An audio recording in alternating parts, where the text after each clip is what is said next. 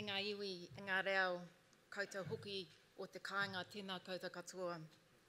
Tēnā tātou ko hui hui mai nei i tēnei piringa whare, kia ata tiro tiro ngā kaupapa, ngā tini take o te whānau ora. Nā koutou rā e whakanui a mātou o te whānau o Waipareira. O te rā ngā mihi, ngā manaakitanga, tēnā tātou katoa. Kia ora. Thank you very much for joining myself, Janice and Rewati in the graveyard shift. It's pretty tough when you've got Howie Morrison trio coming up in about an hour and a half. But anyway, thank you very much. Today, um, I just wanted to share with you a little about the journey that Te Whānau Waipareira has taken in looking at outcomes. Um, it's been something that we've been working on specifically for about the last seven years. We've had a lot of ups and downs, and that's actually what I'm going to share with you today. And hopefully, through our ups and downs, we might be able to share with you a bit of a roadmap for yourselves for those organisations here who are looking at beginning or embarking on the outcomes journey. Just a little bit of a background about Te Whānau Waipareira. Um, as you already know, it is one of the. It is actually a, an organisation that works across health, social services, education, and justice. It's actually the largest multi-sector organisation in the country. Some of the information there is we do provide sectors of services across four areas. We have just over 10,000 clients. We've now been in place for 30 years supporting whānau in West Auckland. For an example, for those of us who work in organisations, we have 40,000 contracted outputs to whānau that we're responsible for achieving. Just to give you a little bit of an idea, the type of website hits that we've had in the last year, give you an insight into the size and scope of Te Whānau Waipareira. So outcomes, our journey so far. It's not been easy. And in fact, what I want to share with you first of all is our roadmap for outcomes. Our roadmap for outcomes is something that um, we think would be very cool to share with you today. And this is really what our roadmap for outcomes looks like. In other words, it was a bit of a disaster. I do not have a nice, clear roadmap, clear roadmap for you to follow. We had a huge number of detours. We failed to give way. We missed a lot of stops, and we had a heck of a lot of detours over the last seven years. And those are actually what we're going to share with you today about our, our, on our outcomes journey.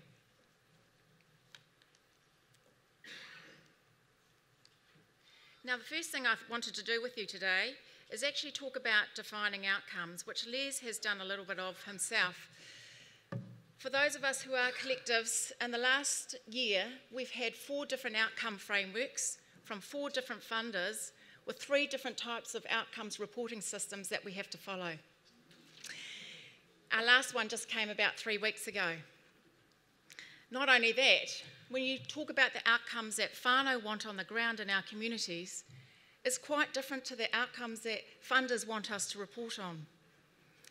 The second thing is what our kaimahi need and quite rightly want to report on for outcomes for their clients is just as valid perspective.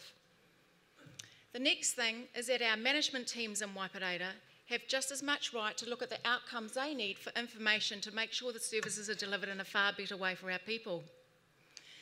So, as a result of this process, we put our hands up and said, okay, let's go back to the drawing board.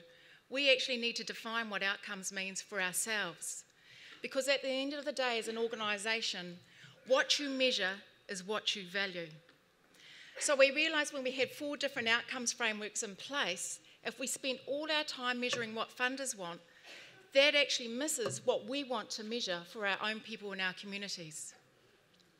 So, as a result, we put a stop on what we needed to report to in all energy for funders and came back to some basic questions about what do the outcomes mean for us. So the first step, probably the first lesson learned from our journey, was that we need to go back to the drawing board and define, drawing board and define what outcomes means for ourselves. As you've heard today, very simply, inputs, activities, outputs, and outcomes. What you invest, what you do, who you reach and the results, and outcomes are about the behaviour change, what changes occur, and as a result, what impacts you make. The second thing, if you describe what outcomes there are, there are very many different types. Some relate to what you expect to see more of, which is short term outcomes. What would you like to see more of, which is known as your medium term outcomes. And what do you hope to see, which are actually your long term outcomes? And you'll see some of the wording in there, which really gives you a good indicator of what sort of things you expect to see awareness and short term outcomes, behaviour change and medium term outcomes, and conditions and long term outcomes. So when everyone talks about outcomes, and for us at Waipareira, when we've had a number of kai mahi hui about it, when we went around the room, every single person had a different interpretation of what an outcome was. So it's very good for yourselves to define what it means for you for yourself and look at them in three different areas.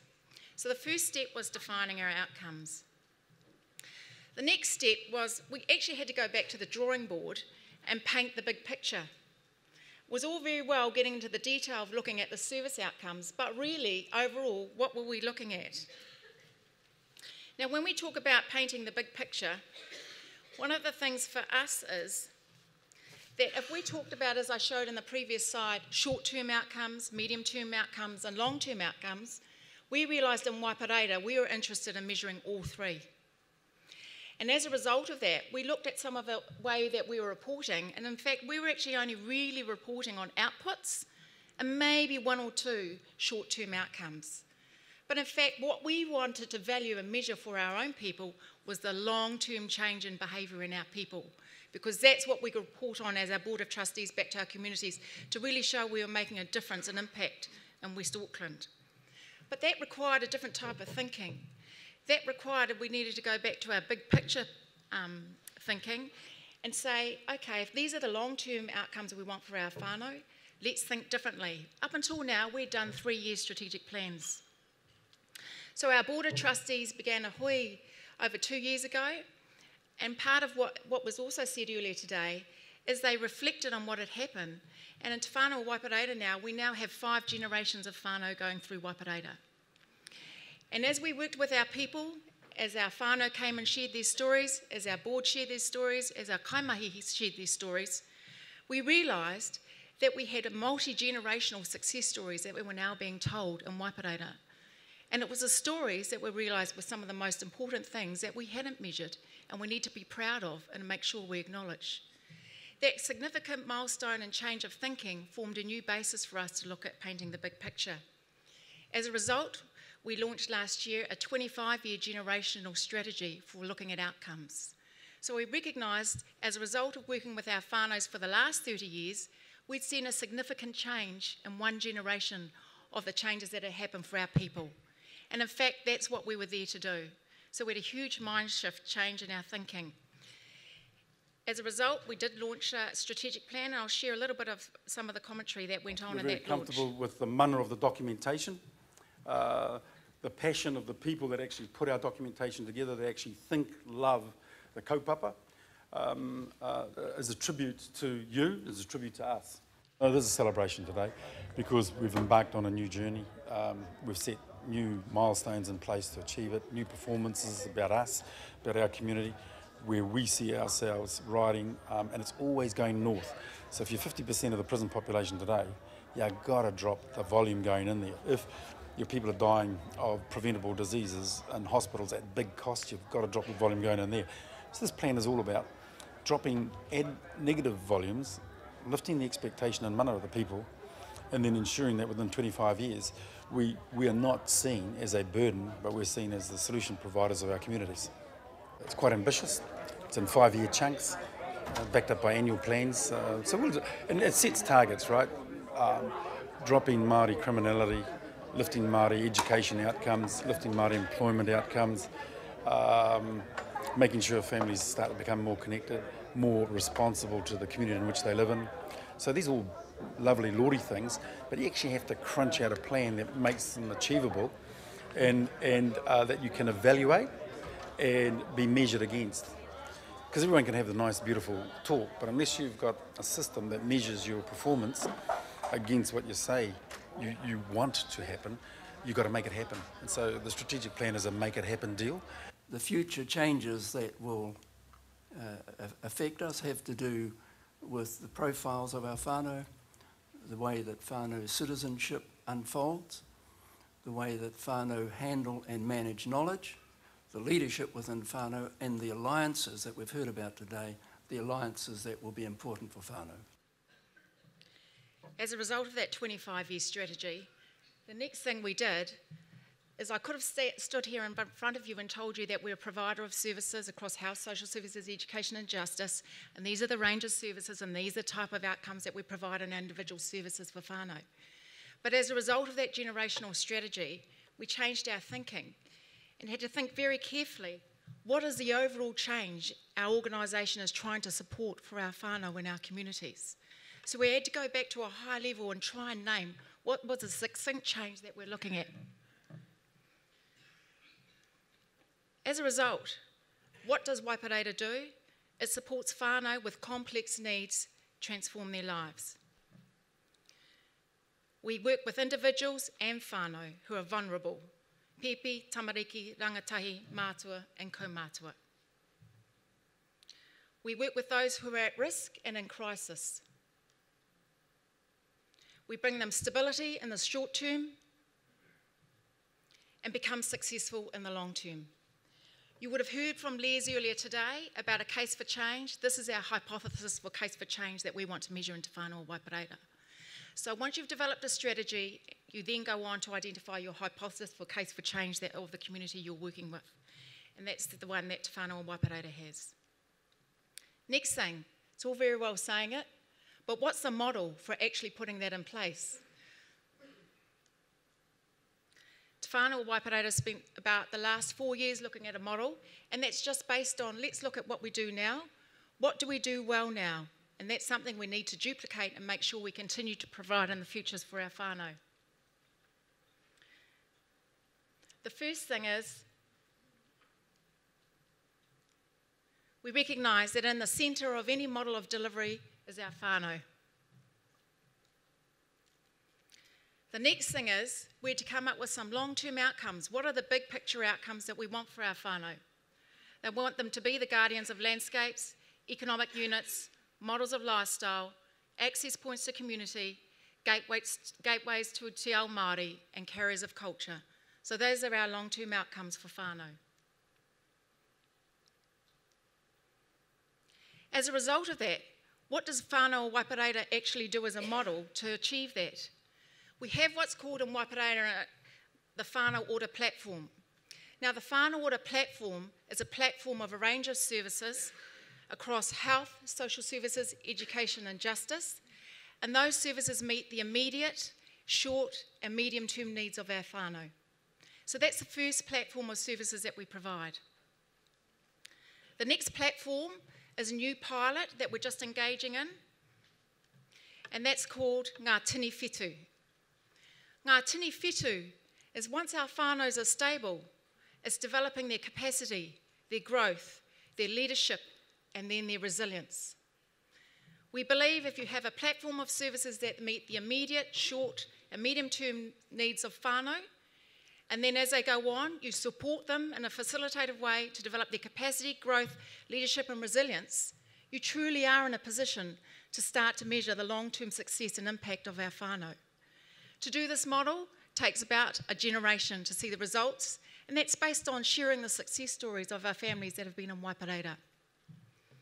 One last thing that we need to bring up today is all very well having that, but you must have a system that pulls all that information together in a clear, cohesive way so that you can measure the short term outcomes, the medium, and the long term together.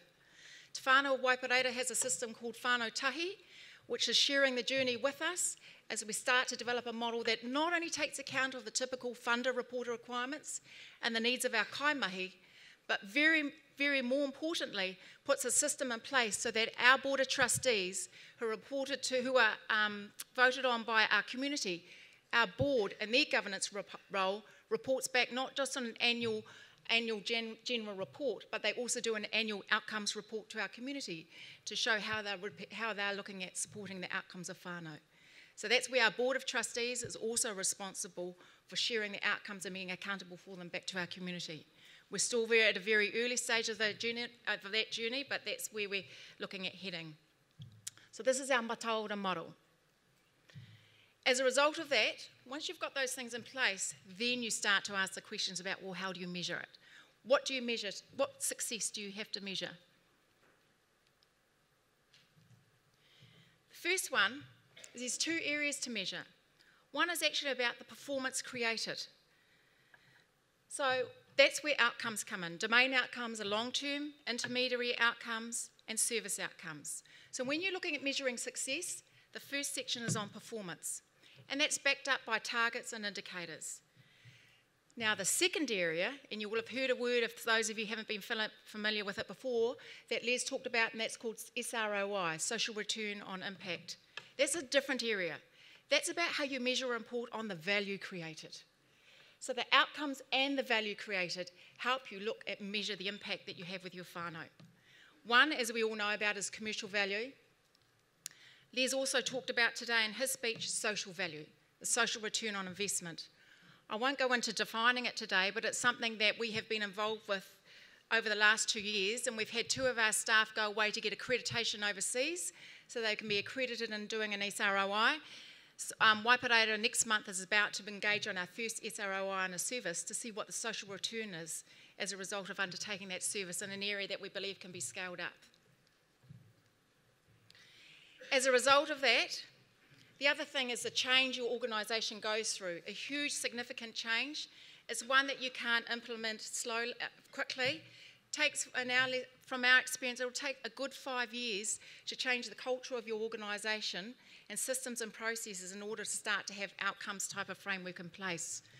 At a very high level for Te Whānau I'm going to summarise very quickly the change that's happened for us. We've gone from looking at data for funder compliance to looking at data for improving service performance. We've gone from single service referrals to multiple services based on a plan. We've gone from kaimahi being siloed in divisions to kaimahi supported to deliver multiple coordinated services. We've gone on start by clients and whānau being discharged after completing one service. We now maintain an extended relationship with whānau to ensure they achieve and maintain long-term outcomes. We've gone from being service-centric, thinking about what services we deliver, put the other hat on. What is the change and what do we need to do to support whānau? So we've become whānau client-centric in our measurement. We've gone from looking at short-term outcomes to long-term holistic outcomes. Finally, that's our roadmap. If we had this at the beginning, it would have been great. But we now can leave you with a roadmap if you're looking at undertaking outcomes. Define your outcomes, paint the big picture, name the change, make it happen, measure success, and change ahead. Tēnā koutou katoa.